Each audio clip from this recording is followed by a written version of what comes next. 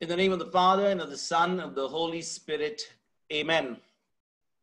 Loving Heavenly Father, we once again want to thank you for another beautiful day you have given each one of us. Today, Lord, you have a wonderful topic for all of us the law of faith, the law by which each one of us can experience and receive the victory that Jesus has already won for us on the cross. So at this moment, Spirit of God, take complete control of this class, my heart, my mind, my lips, my entire being, nothing of me, everything of you. As we study this word, as we study the law of faith, help us to understand these truths and apply them in every day of our life and receive the victory that Jesus has won for us. We thank you in advance for confirming your word with signs and wonders, for confirming your word with the healings and manifestations of your glory. In the glorious name of Jesus, we pray. Amen. So, brothers and sisters, today we are going to talk about the law of faith. Now, most of you would be asking, what is this law of faith? What really is the law got to do with the faith? Now, just like any law, we need to use it because anyone who violates the law always receives the consequences for disobeying the law. For example, if we know that we are driving in a particular speed limit area, exceeding that limit, there is an op- there's a chance that we will be fined. We will be able to get a ticket. Maybe the the cameras will catch our speeds, and we will be able to get a ticket. In the same way, if we know that we have to live like law-abiding citizens, and we tend to do something contrary to what the law says, there are consequences for disobeying the law if we are caught. And in the same way, a law is nothing but anyone who gets involved with it has got to face the same consequences, irrespective whether you are tall or short, fat or big, whether you have a status of high status or low status. Let us take, for example, the law of gravity. We know that anything, anything on this earth is subject to the law of gravity. And because of the law of gravity, right now I'm able to sit down. All of you are able to sit down and watch your screen or watch your mobile phone and hear this talk. If there was no law of gravity, we probably would not be able to sit in one place. We would probably be moving or we could be flying. We would not have any stability. And the law of gravity does not respect personages, whether it is the prime minister of a country, whether it is a spiritual leader, whether it is you or whether it is me. If we do not follow or do not obey the law of gravity, we surely are going to get affected. We are going to face the consequences. For example, because somebody is the prime minister of a country, he can't go up a building and jump down and think because he's the prime minister, the law of gravity won't work. The law of gravity will work for every single person, whatever be the status. And therefore, a law is nothing but a principle which anyone gets involved with it will always receive the same result. Let me say this again. A law is nothing but a principle by which, if anyone gets involved with it, the result will be the same. So, in the same way, just like the law of gravity, if anyone gets involved with it, receives the same result, in the same way, there is what is called as a law of faith. The law of faith is such that if anyone gets involved with the law of faith, the result that he or she will receive or will receive will always be the same. But there is a law, there is a principle. And if anyone is ready or willing to follow that principle of faith, he will receive whatever that law ensures or whatever the law provides. Now, many of us know that so many times in our life we have fallen sick. There are times our loved ones have fallen sick. And the law of faith, when applied, we can see the result of healing. Many a times, we, because of our ignorance to this law of faith, we begin to pray. We begin to, uh, you know, do a lot of spiritual exercise. We begin to fast. We begin to offer so many spiritual exercises, rosaries and prayers and and, and, and Eucharistic celebrations and so many things. We ask so many people to pray. And at the end of it, we find that the person who is not well has actually passed away. And why do we say the person has not received healing? Even though we prayed for so long, even though we prayed, the whole church prayed. Why is it that the person did not receive? It's only because they did not know how faith works, how to receive when you go applying the law of faith. So, brothers and sisters, whether it is healing, whether it is our finances, whether it is our relationship, whether it is anything that we ever require in this life, when we understand that when we apply the law of faith, the result that we will get will always be the same. It will always be victory. It will always be, the result will always be according to what that law promises. So, what is the law of faith? The law of faith is what we are going to study as we open our Bibles to Mark chapter 11, verse 12 onwards. So if you got your Bibles with you, please open to Mark chapter 11, and we are going to read from verse 12 onwards. On the following day, when they came from Bethany, he was hungry. Seeing in the distance a fig tree in leaf, he went to see whether perhaps he would find anything on it. When he came to it, he found nothing but leaves, for it was not the season for figs. So here we read, brothers and sisters, that Jesus was hungry. And he is on his way now to Jerusalem because he had gone the previous day. In fact, if you read verse number uh, 11 and 10, you realize that he was already in the temple, but because it was already late, he had not, he had returned from there. And so the next day, or probably a few hours later, we don't know exactly the time, he is on his way to Jerusalem, to that same place, the same temple, and on that way, he is hungry. Now, you must remember, brothers and sisters, Jesus was 100% man.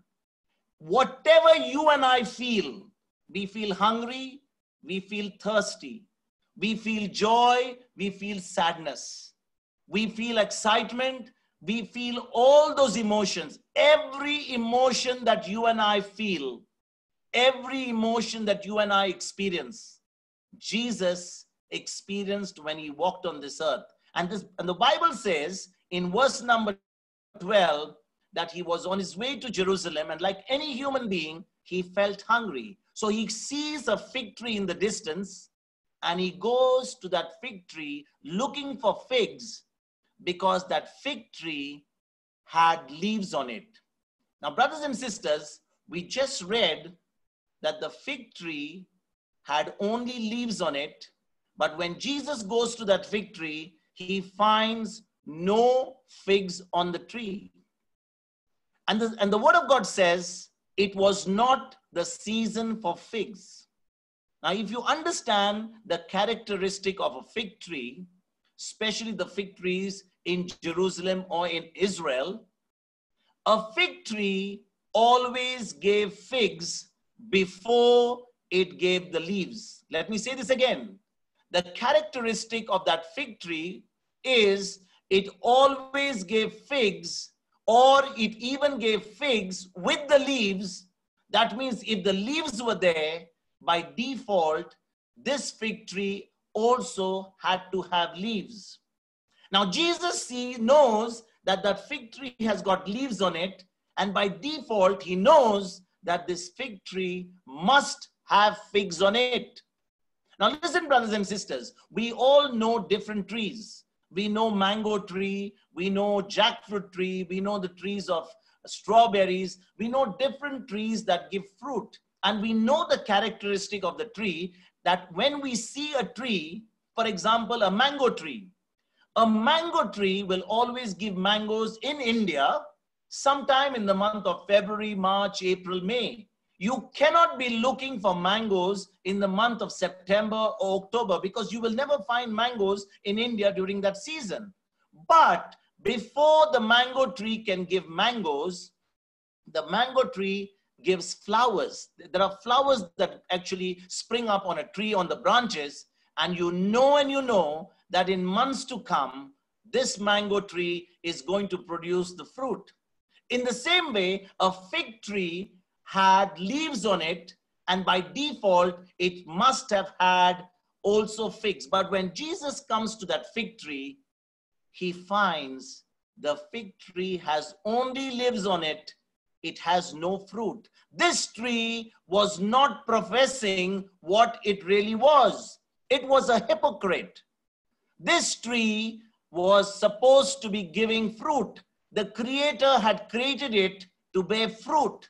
And if it had leaves on it, it must have also given fruit. But when Jesus, the Creator, comes to that fig tree, he sees that the fig tree has got only leaves on it and it is not bearing any fruit. It is only occupying space. That fig tree is only occupying space in the ground and it is not doing its job of bearing fruit. Let us read what happens after Jesus sees the fig tree without any fruit. He said to it, May no one ever eat fruit from you again. And his disciples heard. Now, here we read that Jesus goes to the fig tree, he sees no figs on it, and he goes there and opens his mouth and curses that fig tree. And he says, No one will ever eat fruit from you again. That means he is actually cursing that fig tree. It can never bear fruit ever. So he curses it. And at that very moment, the fig tree is dead. Brothers and sisters, I want to dwell on a little while on this particular point. If you open another Bible version, probably the King James Version or probably even the Amplified Version, you will read that when Jesus went to the fig tree, and before he actually cursed it by saying, No one shall eat figs from you again, the answer that Jesus gave to the fig tree was in response to a question the fig tree had posed to Jesus. Let me say this again. When the Jesus the creator was standing in front of the fig tree, the fig tree was actually challenging the creator by saying, You know what, Jesus? You came looking for figs on this tree. And I'm very sorry to tell you, I have fooled you. You don't, I am not able to give you any figs. The tree did not speak words to Jesus. The fig tree did not speak any audible words to Jesus but the thoughts that Jesus received when the fig tree had not given any fruit to him was in actual effect, you creator are not going to get fixed for me again. You have been deceived because I am not bearing any fruit.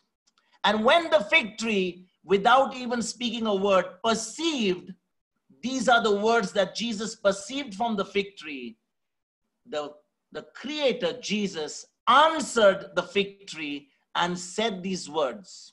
Now, I want you, brothers and sisters, to understand one thing very clearly. There are things in our life that do not speak back to us in an audible voice. There are no, there are things in our life which will not open their mouth. For example, when I go to the doctor for a normal checkup, the doctor will give me a report saying that I've got X, I've got Y, I've got Z, I've got some particular sickness in my body. Now, that report which the doctor gave me, probably he gave me three or four hours ago, but I am still now at home, three, four hours later, still reflecting on what the doctor told me. And as I'm sitting down, tears are rolling from my eyes because the words of the doctor, which were spoken at least three or four or little longer, are now speaking to my mind. And now all the negative thoughts are coming to me. All the negative effects are being played on my mind. And as a result, my response and my reaction and my emotions are actually responding to what the doctor said a long time ago, maybe a day ago, maybe two days ago. And in the same way, brothers and sisters, there are things in our life that may not speak back to us. But as those words keep coming again and again to our mind, they have the effect in order to discourage us, to send us into depression, to put us into such a terrible situation. And now, instead of we rising up and walking in victory, we are completely defeated and the battle is lost even before we have got out with our weapons to fight the good fight of faith. Let me say this again with another example. Say, for example, your bank account is showing a very poor balance. Now, is the bank account balance going to speak to you when you have got to pay your fees of your children? You got to pay the rent of your house. You got to pay so many, so much of amount for your groceries and for your day-to-day living. But when you realize that your bank account details, the, the amount in your bank is actually talking to you, now you begin to start wondering, you start beginning to, you begin to have thoughts of negativity, you go into depression. Where will the money come? How will be I able to survive? How will I able to manage? And the moment I take my situation and I begin to meditate on it, now I lose the battle, even though I have got all this power within me. Although I am born anew, I have the Holy Spirit within me. I have got this Christ living in my spirit, and yet I'm living a defeated life. But look at what Jesus was teaching us today. The fig tree did not have any fruit on it it had only leaves. And this fig tree thought it was smarter than the creator. It actually did not say words, but what Jesus perceived was that the fig tree had actually made him look like a fool in front of it. And so Jesus, in response to the fig tree, answers the fig tree. That's what we just saw in the King James one. Jesus answered the fig tree and said to it, No one shall ever eat fruit from you again. He curses that fig tree. He sends that fig tree to its final end. And you know, brothers and sisters, if we ever realize that when Jesus does anything or says anything, we who believe in Jesus are called to do the same things that Jesus did. So, just as your health report or your doctor's report talks to you, just as your bank balance talks to you, just as your marriage talks to you, just as your relationships talk to you, just as your boss talks to you, or any negative situation in your life talks to you, you also have the same authority like Jesus to curse anything that is come against you, not to curse the people. You don't have to curse people, brothers and sisters, because the word of God says Jesus cursed the fig tree. He did not curse the person, he cursed the thing. In the same way, you and I have got the same power in Christ to curse our situation, to curse our circumstances, to curse that report and bring that report to a new report with the word of God. And you know, brothers and sisters, when Jesus said to that fig tree, No one shall eat figs from you again, he actually cursed that fig tree. Now, let me say to you again when we know, we have studied that yesterday in Proverbs 18 21. What does Proverbs 18:21 says? It says that life and death are in the power of my tongue. Life and death is in the power of my tongue, and those who love it shall eat its fruit. What does that mean, brothers and sisters? My victory or my defeat is right below my nose, it's in my tongue.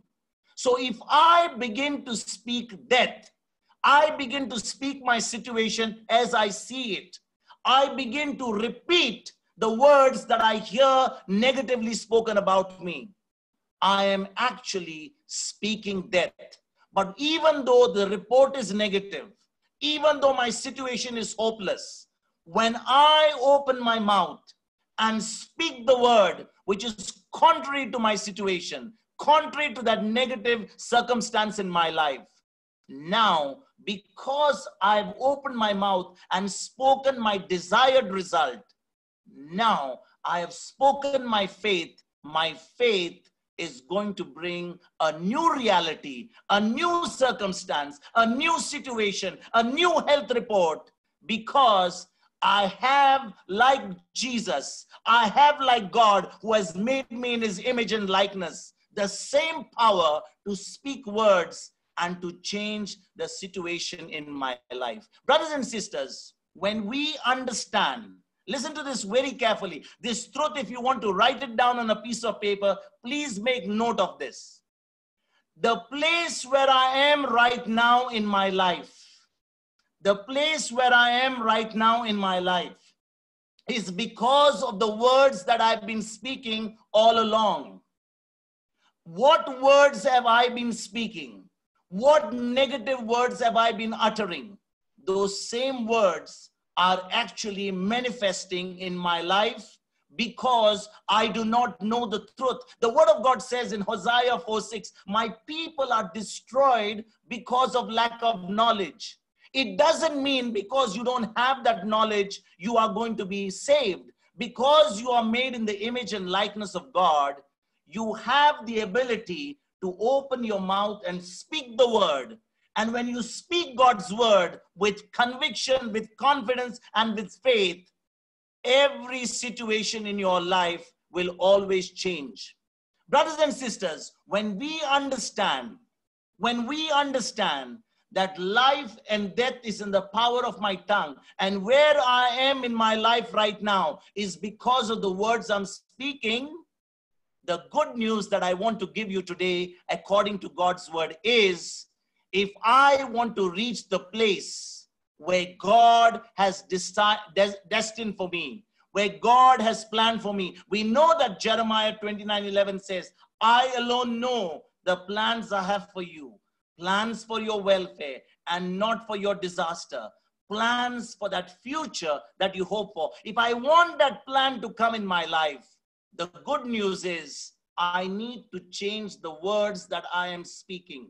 If I can change the words I'm speaking, if I have been speaking always death over my life, there are so many of us who are also going to church, those who believe in Jesus. They have been speaking death over their children. When they get a bad result coming from their children, they go and tell their children, You are a duffer, you are an idiot, you are good for nothing, you are absolutely useless. And only when they come with good results, they give them a pat on the back. But, brothers and sisters, even though we receive the bad report, even though our child comes back from school with a bad report, if we are going to open our mouth and speak to our child contrary to what their result says, if we open our mouth and speak exactly the opposite by saying to our child, Yes, you can do it. You are good. There is nothing that you cannot do. You can do all things through Christ who strengthens you. I tell you, brothers and sisters, the report of your child will surely change. I want to share you with us with, uh, uh, my own personal testimony.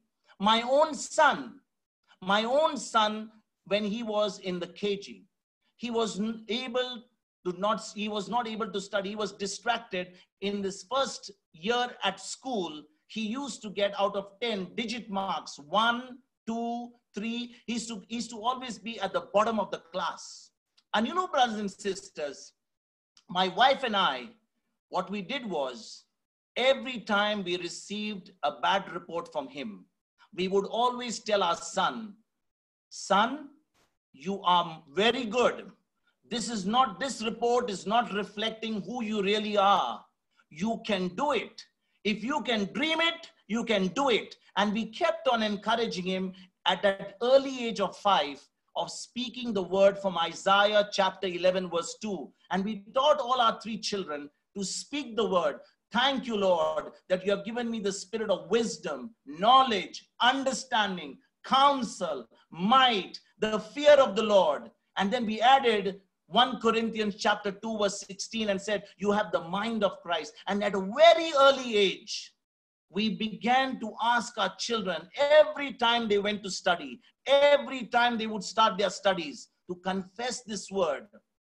Thank you, Lord, that you have given me the spirit of wisdom, knowledge, understanding, counsel, might, the fear of the Lord, and the mind of Christ. And as they kept confessing that all their school life, brothers and sisters, our children began to do very well in their academics. It was not because they were too intelligent, but they received the wisdom of God. They received all that they required from the Lord. And our son, who started off with getting digit marks, as the months began to pass by, by the end of the year, he was getting marks like 9 out of 10, 10 out of 10, and his result had absolutely changed from where he started because we refused to speak what his marks said. We refused to discourage him and, and, and virtually curse him by saying the negative words, but we began to confess the word and we made our children confess the word.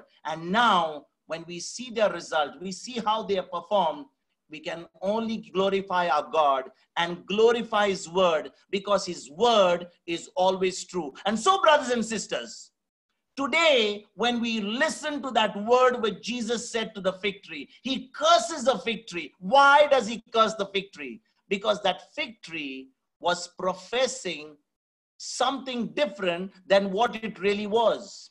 And you know, brothers and sisters, there is one thing that the Lord cannot tolerate.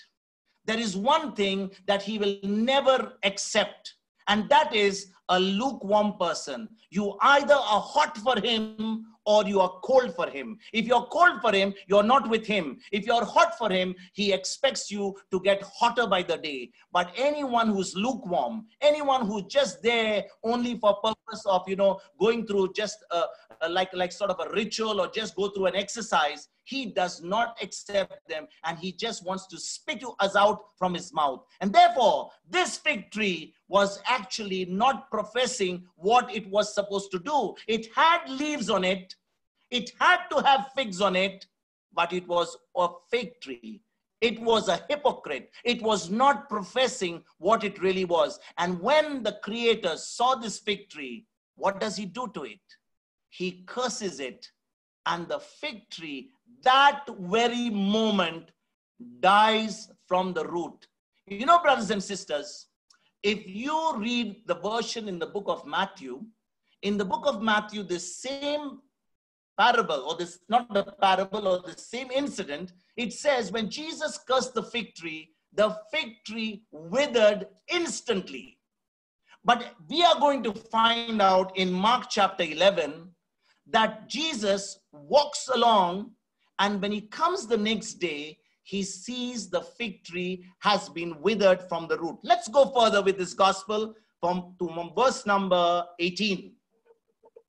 We are not going to take, we are going to take a gap between because Jesus, Jesus was up to up to 20, up to 19.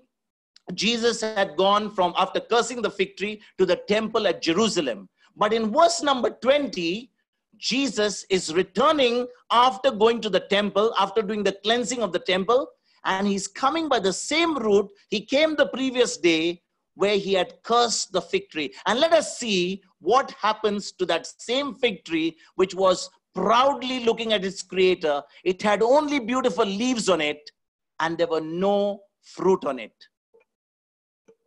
In the morning, as they passed by, they saw the fig tree withered away to its roots. Can you imagine, brothers and sisters? The fig tree the previous day had leaves on it. Next day, the same fig tree has withered from the roots. In 24 hours, not a chopper, not a knife, no physical sharp instrument has been used on the fig tree. The Creator has only spoken words. He has cursed the fig tree with his words, and the word of God says that the next day, when Jesus was passing by, the fig tree had withered from the root. Now, I want to ask you, my dear brothers and sisters, the leaves of a fig tree are meant for the tree. Every leaf that is there is meant for the tree. The fruit that a fig tree or any fruit tree bears are always for others.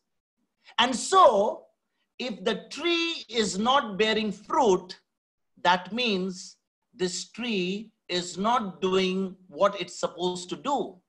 And therefore, when we go to the Gospel of John, chapter 15, verse 5. We have actually dealt with that last week because we have been going through chapter 14, 15, and 16 in the last two, two weeks, the last discourse between Jesus and his disciples. So let us go to John chapter 15, verse 5, where Jesus is talking about he being the vine and we being the branches.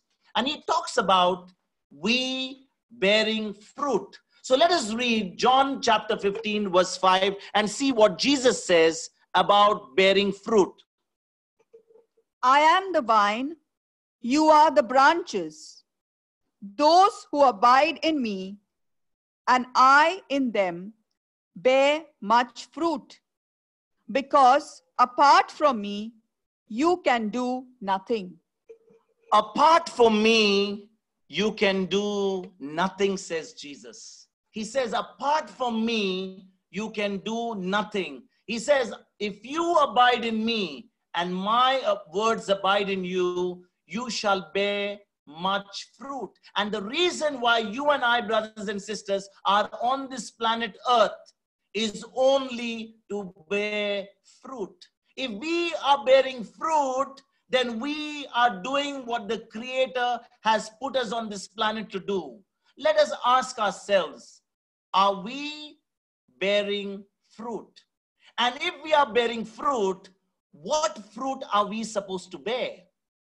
Is it that we are supposed to bear figs and oranges and apples and pomegranates and then we when we all come together in a class like this we all mix together and have a good fruit salad with ice cream is it that what jesus is talking about Absolutely not, my brothers and sisters. When the Lord is talking about bearing fruit, He's talking about bearing fruit of the Spirit. And that is exactly what is mentioned in Galatians chapter 5, verses 22 and 23. I'm not going to read that and I'm not going to go in detail, but in Galatians chapter 5, verses 22 and 23, the word of the Lord says, the fruit of the Spirit is love, joy, peace, patience, kindness, gentleness, and self control. And you know, brothers and sisters, anyone who's bearing fruit, the law does not apply to them. The law does not condemn them. The law will never come against such a person because a person who's bearing fruit of the Spirit is operating in agape love, is operating in unconditional love, is operating in God kind of love. And that is exactly what you and I, who are abiding in Christ, are supposed to bear. We are supposed to walk in agape love. We are supposed to walk in unconditional love, not on our own strength, but with the strength of the Holy Spirit living within us. Because the Word of God says in Romans chapter 5, verse 5, it says, The love of God has been poured into our hearts by the Holy Spirit. And you know, brothers and sisters, when we truly have the Spirit of God living within us, we have the Word of God abiding within us, we surely are going to bear the fruit, the fruit of the Spirit. Many a times, many a times, and including I'm going to give my own example, which I've shown, which I've told you before. I have served in the church, I've served in different capacities, but the Lord showed me one day what a hypocrite I was when He told me, All that you are doing is only to glorify yourself. Everything is about you. But the day the Holy Spirit revealed to me that whenever I serve Him, it has to be always to glorify my God. It is always to bear the fruit of the Spirit. And the fruit of the Spirit is very clearly given in Galatians chapter 5, verse 22 and 23. And brothers and sisters, when you and I are bearing the fruit of the Spirit, there is no need for us to even open our mouths and, and start proclaiming the word. There is no need for us even to say a word because the moment we are giving out the fruit of the Spirit, we are actually drawing others towards us, just like the honey, the bees get attracted to the honeycomb. In the same way, when we bear the fruit of the Spirit, those without Christ and those who are on the border, they will be attracted to Christ in us. We don't want people to be attracted to us as a person, but they are attracted to that Christ who's living within us. And brothers and sisters, it is only when Christ is who's living within us, the Holy Spirit that is living within us, that we can truly bear the fruit of the Spirit.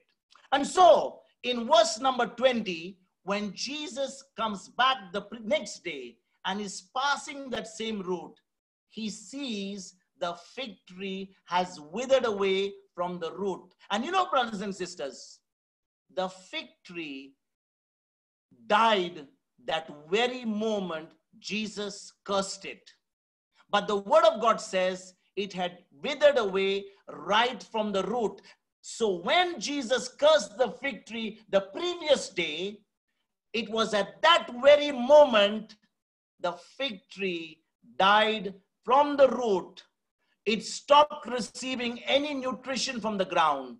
But what was visible to the eyes was only visible the next day because as the sap and as the nutrition began to be cut off from the root, the tree slowly but surely was visibly withered right to its top. And in the same way, brothers and sisters, you and I can curse any situation, any circumstance in our life which is coming against us because there is nothing I want to say this again, and please write it down in bold letters. There is nothing that our good Lord will ever bring against his children. There is nothing evil that our good Lord will bring against his children in order to make us change. He does not need to use the tools of heaven, of hell, in order to change his children. So therefore, sickness, poverty, or any sort of negative circumstances, be it our marriage, be it our children, be it anything negative in our life, is not coming from the Lord that we need to tolerate it, we need to entertain it, but we need to curse it in the name of Jesus and destroy it because it is coming from the kingdom of darkness and it is coming from the pits of hell. And therefore, we have the authority like Christ to curse that health, that bad report. We have the authority of Christ to curse our, our negative situation and receive what Jesus wants to give us a new reality, a new truth, which is nothing but the blessings that He has already prepared for us when He said, It is finished on the cross. Let us go further as we read verse number 21. Then Peter remembered and said to him, Rabbi, look, the fig tree that you cursed has withered. Now look at Peter, because we read on the previous day when Jesus cursed the fig tree, his disciples heard it.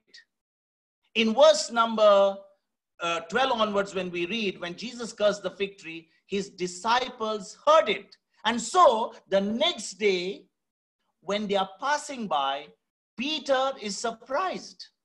Peter is reminding his master, he's saying, Jesus, the fig tree that you cursed yesterday has withered from the roots. For Jesus, it was not a surprise because when Jesus cursed the fig tree, he knew and he knew that the end result was that the fig tree was dead. He had cursed it, it had to die that very moment. But for Peter, it was a big surprise because Peter had seen the fig tree with leaves on it.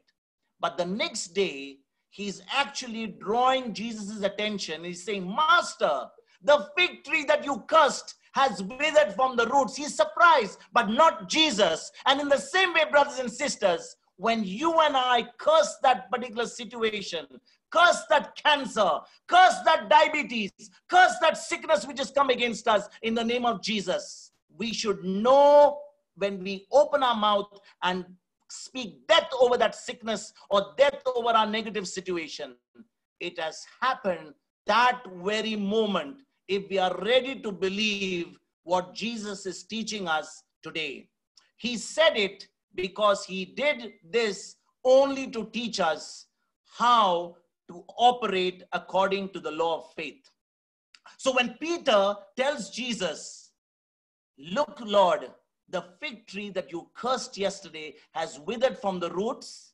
What does Jesus say to him? Let us read that in verse number 22 and let us go and read till the end and then let's break it down and find out the secret of the law of faith. Jesus answered him, Have faith in God. Truly, I tell you, if you say to this mountain, Be taken up and thrown into the sea. And if you do not doubt in your heart, but believe that what you say will come to pass, it will be done for you. So I tell you, whatever you ask for in prayer, believe that you have received it and it will be yours. Whenever you stand praying, Forgive if you have anything against anyone, so that your Father in heaven may also forgive you your trespasses.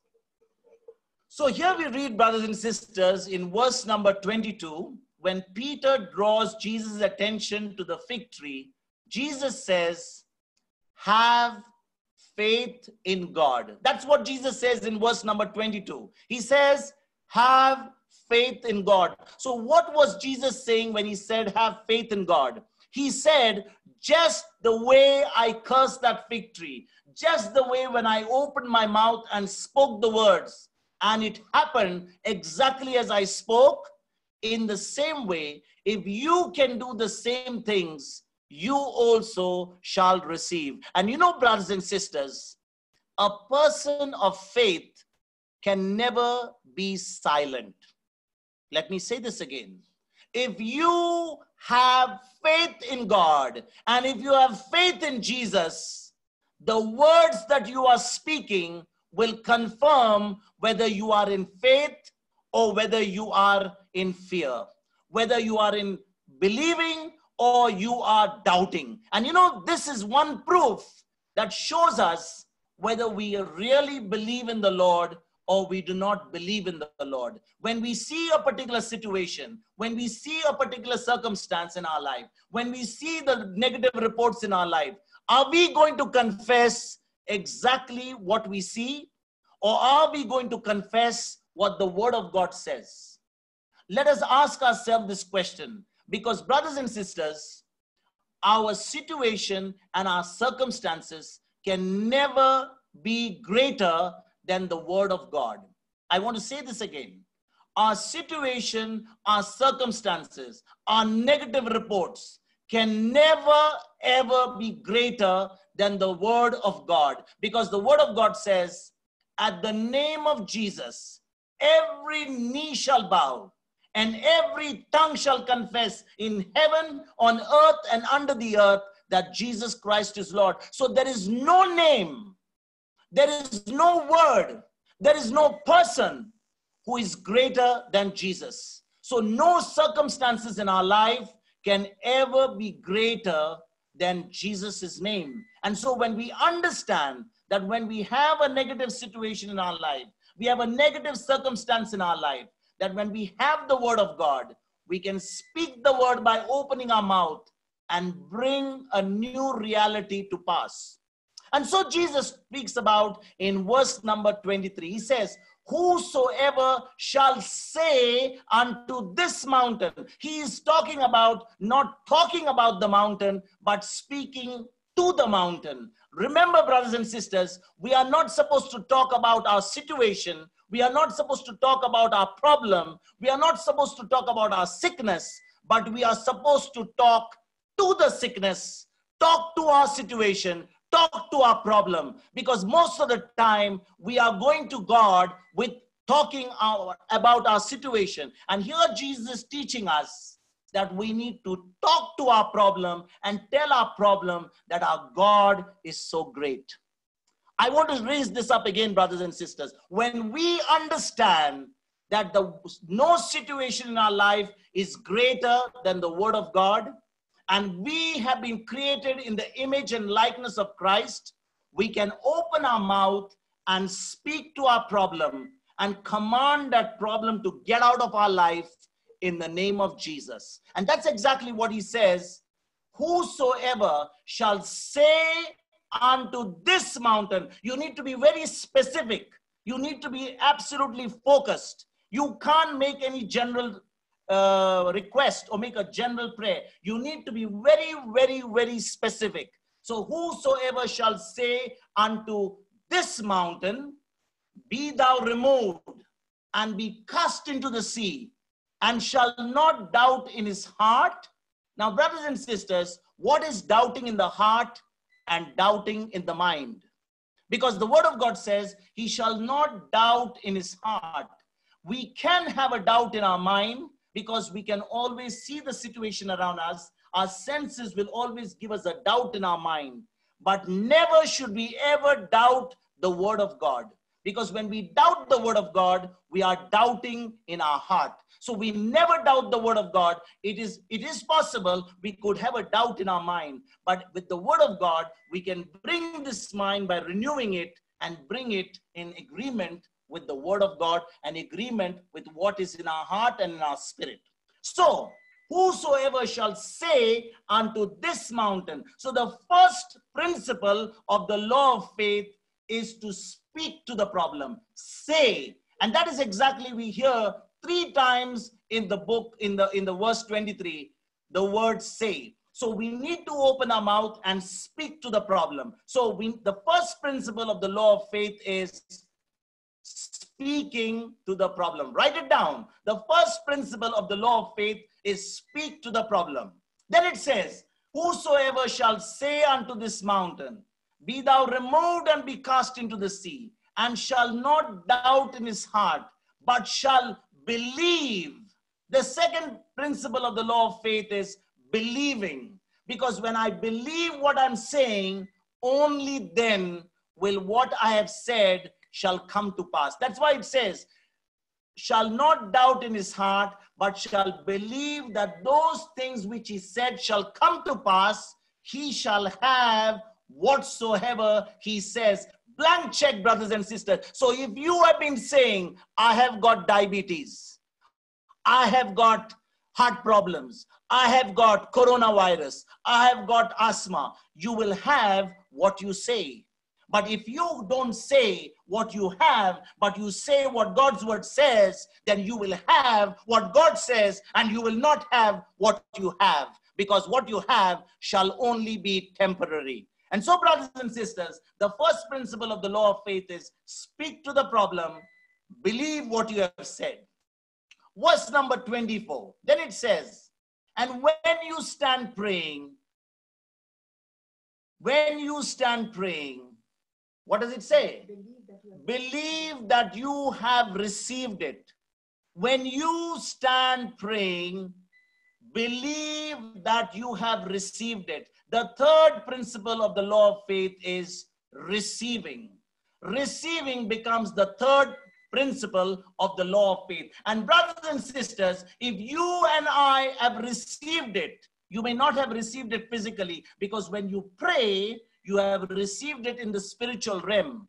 And between the spiritual realm and the physical realm, for it to manifest, it could happen instantly, it could happen over a period of time. But you know and you know that when you said that prayer and you said Amen, you know that you have received it. And so, if you have received it, you are going to open your mouth and start thanking the Lord. So, the fourth principle is thanking.